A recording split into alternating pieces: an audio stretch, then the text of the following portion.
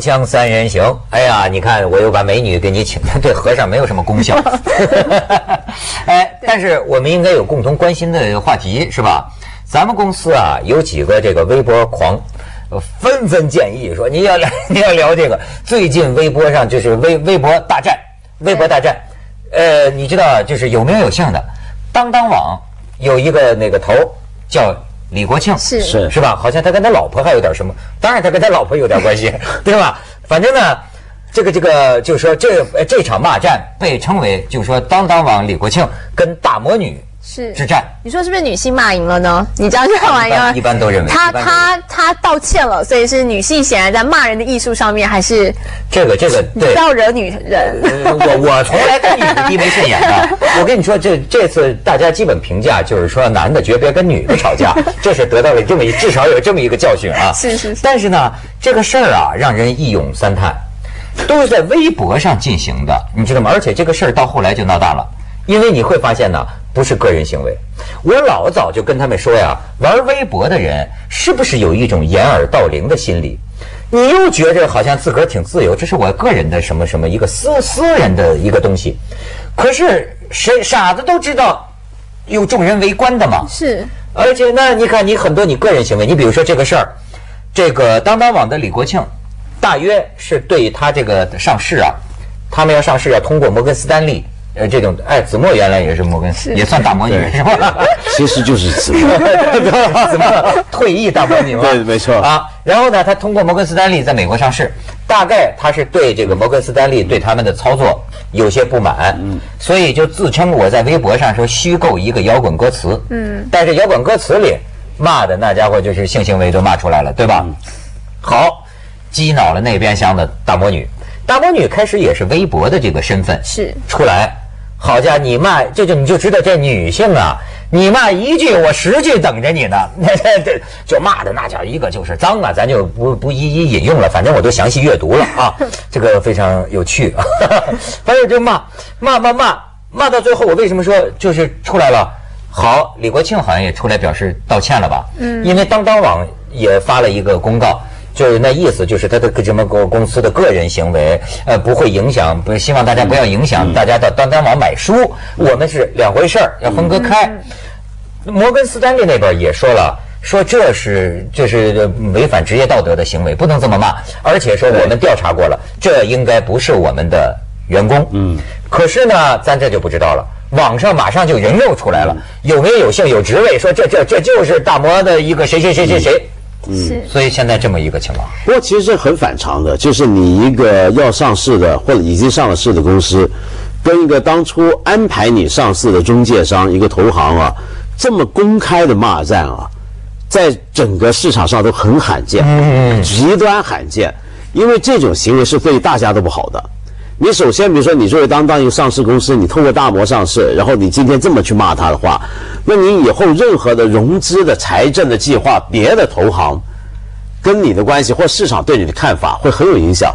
而大摩要是真有这么一个人，还真是大摩里面出来女的，比方说是曾子墨的师妹啊，那么出来这么搞的话，那人家也会对你印象很糟，所以这是整件事是非常不正常我。觉得这很可能是两件事。第一个，李国庆他显然这件事情大家已经酝酿很久了，大家在私下这个气呀、实在不知道找谁发，所以他觉得在微博上可能也就知道众人围观，所以我想寻求的是，他以为他这样讲出来会有人支持他。如果我有民意的力量的话呢，我就要把你摩根史丹利搞的就是没有嗯呃不是民意所趋喽。但是他没有想到说，哎。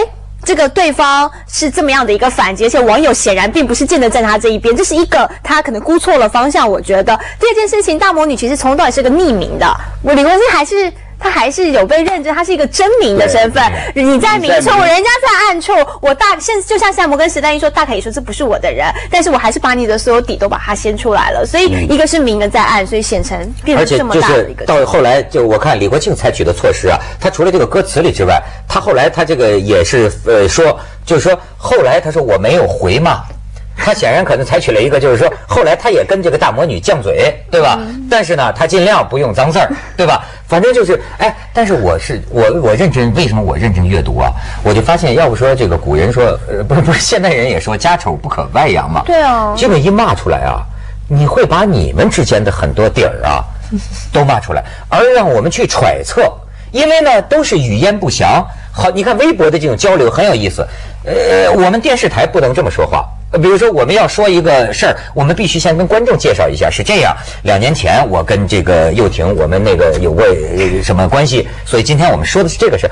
但是微博是不交代背景的。直言其事，这个引起了最大的猜测心。比如说，这大魔女又扯出什么李国庆的老婆，这让我就横生好奇。我说这事儿里边，李国庆的老婆又是干什么的？嗯，好像跟这个上市很有关系，对吧？当当然，他老婆是高层嘛，是吧？呃，然后呢，他又又又骂说什么呃什么什么吃软饭的，你知道吗？就让人横生遐想。呃，这这个东西，你这个也是人身攻击。那么另一方面，你知道吗？让我这个爱钱的主啊，我一下子知道，我说现在在搞什么资本游戏呢？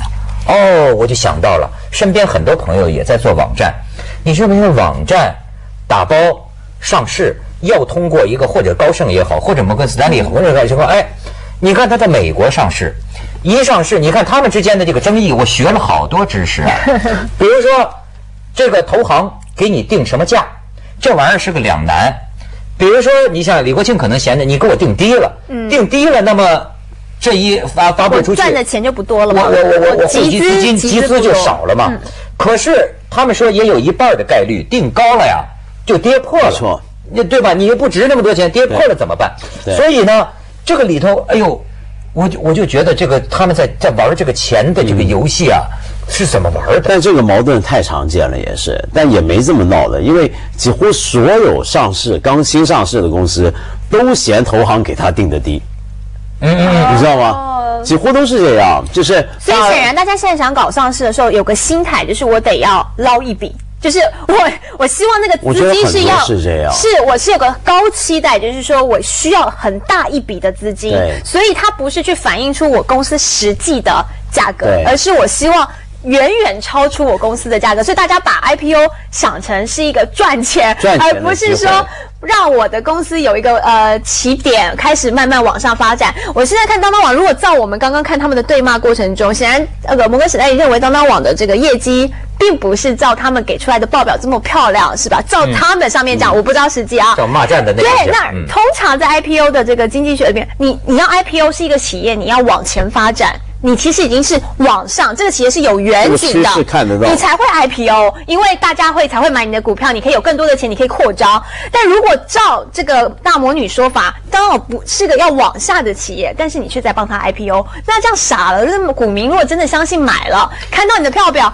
哎，削的我是我的钱啊！那你们是高层领了股票卖了转卖，你就辞职，大家退休，呃，很爽了乐那我我就被套牢在这里了。哎这就是现在整个这个金钱游戏最讨厌，就是最可我现恶的地方。在觉得啊，这是个关系的全世界人类发展未 未来的问题。为什么？咱们太傻了，你知道吗？我最近就反思啊，我身边的一些人，他们怎么就成人精了？我就他就是我们这种老老实实干活挣钱，真是凹了，就不是这个年代了。他们跟我讲啊。就是说，你现在玩这个，比如说很多网站呢，这种叫市盈率。那天就有人跟我讲说，这是什么概念呢？现在这个年代，只有概念才能赚钱，赚大钱。这就是某种意义上理解，你预知了你这个几公司啊未来五十年的愿景。愿景，就是预知愿景。后来我问他，我说我们电视台怎么不能这么搞？他说你比如说电视台，你们传统媒体啊，投入也相当的大，对这个市场都会看的，对吗？你这种媒体投入也也巨大，你的市盈率是稳步上升的。他说没有什么东西比得过网络上的这种游戏，因为大家看的就是这玩意儿要增长啊。能成倍的增长。他们那天讲说，那个百度那个什么李彦宏，说是还是是呃比较有风度，说是什么定的是三十七，但是实际上上市第一天还是第几天涨到一百美元。嗯，那么李彦宏说说，那我也没有什么抱怨的，反正就值这么多，可能当时。但是这个故事让我想到什么？他就是所有人投资你的，看重的就是你未来五十年。对可是我不禁就有了一个人类前途的这个发问呢，就是说，如果我们人类把未来五十年的利润都预先现在拿了，那这个我们的前景会怎么样？我没有这种问题吧？呃重点是还不是你拿了，是他们是公司那些高层拿了，啊你股民还不见得拿了，因为你有时候买了这个股票，你 IPO 的时候你上市你抽到，它第一天有涨，有的是跌的，那有的就一开始就像他们说投行估高了，你拿的时候认购价就高了，那等到后面一跌一开盘跌破，像去年太多的地产股，对不对？因为没想到调控抽的这么紧，你一高就哎。你买的时候高就一跌破，从此没再回来过哎。哎是啊是啊是啊 但是他们已经集资了耶，他们已经拿到那个钱了。所以我就觉得，就是说，最后就是砸谁手里，就跟那个抢椅子的游戏一样，看谁砸谁手里，大家都能捞一手捞一手，看谁最后对吧对？以后锵锵三人行摆两把椅子，对锵锵三人行广告之后见。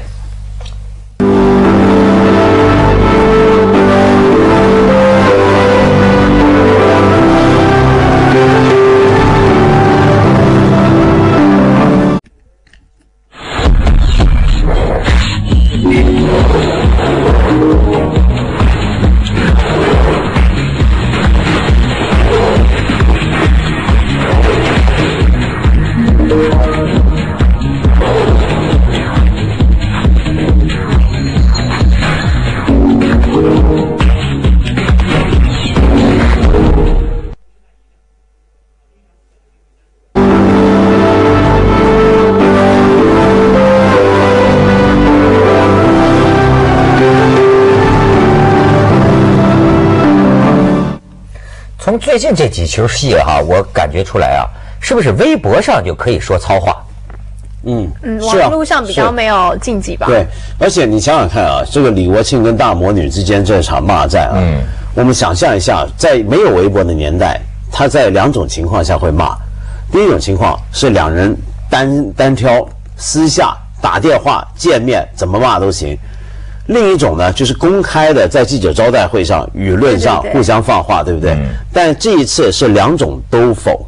你想想看，这两种情况啊，正常情况下，我猜李国庆跟大魔女在刚才我们说的传统的两种情况下，他们是骂不起来的。嗯，第一，你真心再恨大魔，你今天不会走上去大魔。我今天我要告诉你们，你们怎么样怎么样怎么样，他不会这么骂，哎对不对？面子上太难看了。嗯。第二，他觉得要公开搞个记者招待会，那是等于是公开宣战决裂，跟一家公司，他也不这么选择。嗯。于是他们这回呢，选择了第三条路。这第三条路就是微博，从这里你就看到微博它这个新媒体的性质多暧昧。它暧昧在什么地方？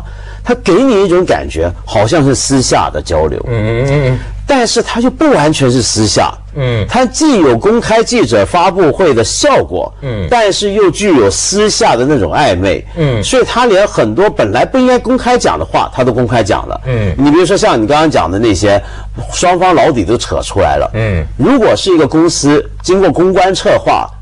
很明确的要发布给媒体听的记者招待会上，他能说这些吗？他不会，对不对？所以你想想看，给我们一个机会了解真实，是吧？对，所以我觉得，对，所以我觉得微博这个东西啊，是很多人在用它的时候不注意到它的某种的危险。这个危险是什么呢？就是说，今天包括微博、Facebook、Twitter 这些东西，这些社会网络、社会新媒体啊，它其实是一种我们过去没见过的崭新的媒体。我们以前呢，按照传统媒体观念，我们世界呢就分两块，一块叫公，一块叫私。私下说什么，公开怎么样？但这些媒体的出现，它是砍出了第三条路，在公司之间。所以很多玩微博的人，我发现啊，他们每天太习惯了，手机上随时我，你知道我刚刚看到又停了吗？我刚才呢看到幼婷跟一个男的勾勾搭搭，怎么样怎么样？哎，我给大家看看，说一说。嗯，他最初以为这是朋友间的交流，没想到他暴露了竹幼婷的一个隐私出来，对不对？你知道，就是说他们讲啊，就是说这个这个骂人也是个艺术，就是说有人说过这么一句话，就是说赞美，据统计啊，人类至少三分之一的赞美都是虚情假意的，是但是呢。百分之九十九的骂人都是真情实意的，真情实感的。而且为什么说骂人？你知道，我想起来啊，我原来在那个武汉呃大学读书，我们那个时候啊放那个露天电影啊，有时候武汉人吵架那是有名的，对而且真的女的比男的强。我跟你说，对可你就会感觉这种心态很有意思。有时候放电影之前占座位啊什么的，是一男一女呀，这骂起来了啊，骂到最后啊，呃，他意识到围观的存在。其实骂到最后啊，这两个人都有点得意洋洋，已经有点表演的性质了。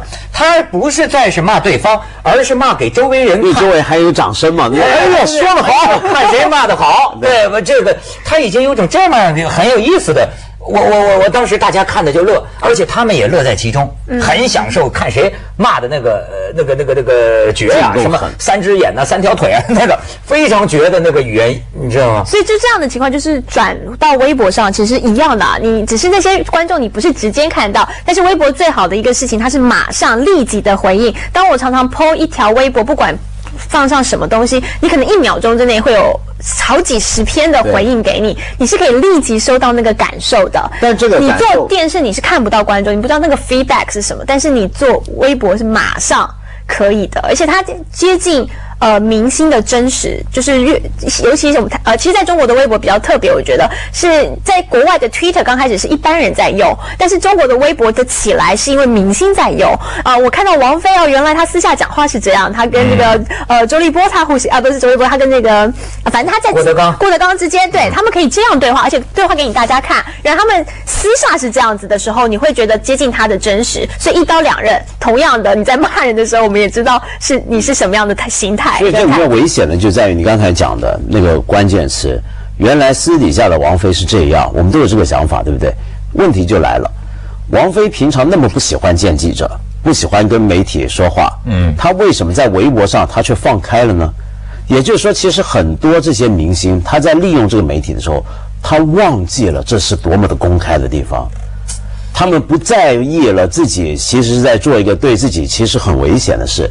假如一个明星像王菲这种人，他在意自己的隐私，在意的那么厉害，他今天用微博用的这么不小心，他说出来的每一句话，将来其实累积起来都是他的隐私的。但是这个情况啊，我觉得相当大的明星啊，心里是有数的，是正在他不学我觉得。是说控制不住，哪些是能给你们看的，能给你们听的，哪些是真正的隐私，不能让你，他当然心里有数啊。但是这个是正在学习的过程，因为我现在看到，其实很多人在后悔的，其实是，嗯，包括骂人，其实我觉得都会后悔。人是一种触景生情的动物，呃，情境动物，而且呢，往往你是搂不住的。嗯你看，你有一个管道，蹭着火就出去了。嗯，哎，但是一旦见到后果的时候，你你才知道吗？对啊，他的另一个问题，就像你刚才讲，也是又婷讲它的好处，它够快，够快呢，你少了一个过滤的过程。哎，所以骂人为什么骂的特别多呢？因为以前，比如说一个公众人物要公开骂人，他气起来了，到他骂之间，他是有可能有几天的距离。那几天他可能盘算过，有人出谋献策怎么样，最后骂出来的又得体又漂亮，对不对？哎哎但现所以我觉得他。想五天不想骂。对他现在气一来，啪，手机拿着，啪，没错没错这摇滚歌词就来了。哎呦，这所以你说人现在好寂寞，他连骂人都希望有人支持他。你像你在骂的过程，第一个你情绪发现，第二件事情你希望有共鸣嘛？你其实是，其实你骂的当下，你一定知道是我希望有人支持我，挺我一下，因为我一定是觉得我好。我怎么这件事只有我在气呀、所以你发出来的时候，你希望有人挺你，所以你会觉得这是一种情绪上的依人赖，本就是质上是不是都有一种聚众的本能？希望挑挑动群众，是吧？咱们去下广告，锵锵三人行，广告之后见。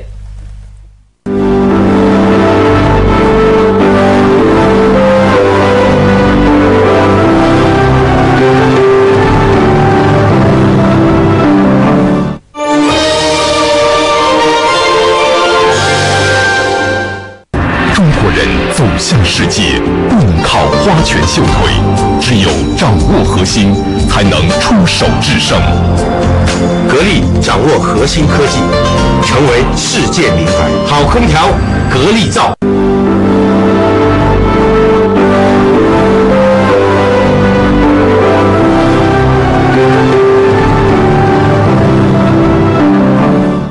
而且我觉得微博的语言啊，它会天然的让人容易更直接的骂人啊它不只是让你情绪过滤时间短，而且它的字数的限制，对不对？要骂因为得精准对啊，要短那就肯定是最直接的话。比如说，你如果很斯文的骂人方式说：“哎呀，朱幼婷小姐，您这番话。”呃，我虽然很欣赏，恐怕我是不能同意的。理由如下，叭叭叭叭叭叭，对不对？换另外一条在微博但是微博说朱幼廷，你这什么什么，就这样了，对不对？是所以它这个空间，它的速度是更容易让人上火。所以我在微博上老看人骂啊，就是跟这个这真是一种新型人际关系，对对吧？好比有些时候我们俩如果面对面，我哪怕对你有不满，有些话我说不出来的，嗯对吗？哎，还就是这样。你说你这个感觉很对，就是暧昧。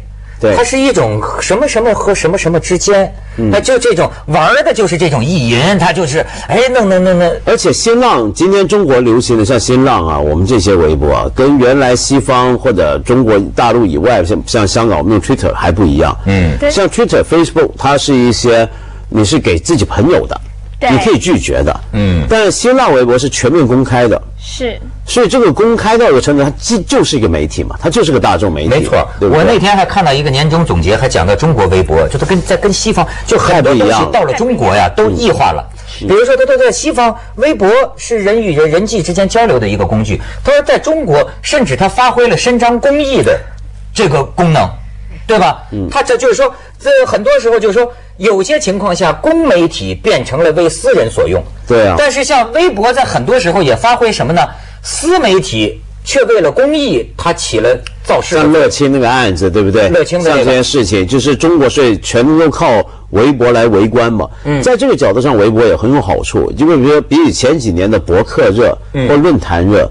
微博有一个很大的不一样，就是博客啊，你写一个像样的博客文章，坦白讲有点难度。是但是微博呢，技术门槛太低了，嗯，低到一个程度，就是它真的是全民参与。它我只要一个以以前图案，我更民主也是一个微博。没错。那而且我觉得，可是这样下去下来，我觉得大家就越来这个思想就像说越来越快速，我就不喜欢。用长的文章了，就说我们今天还在讨论说，因为我们做天下网络，我们说让我们自每这么依赖的微博，那大家还上不上开心网呢？你还上不上 Facebook？你上不上 Twitter？这些都上，但是唯一一个不上就是博客。我们已经开始不看任何人的博客了，因为太长了，你已经不习惯了。啊啊啊可是这样，我觉得这样下来，其实对全不管这国外国内，我觉得不好的是你就不思考啊，因为你什么事情都喜欢。随口而出的东西。对，我不思考了，这不太对。你看任何人，我以后也不想看文道的书，我，只想看他一句话。你干脆都给我一个 core，就叫我们叫引言，或者是你给我个经典的名句，我反而比较直接。我就这个东西也是记得买书有了。种真实啊，有种真实啊。所以现在为什么？呃接着下来为您播出今天这《个珍宝总动员》。shallow 浅薄，嗯，它是更 shallow，它就赤裸裸的，对。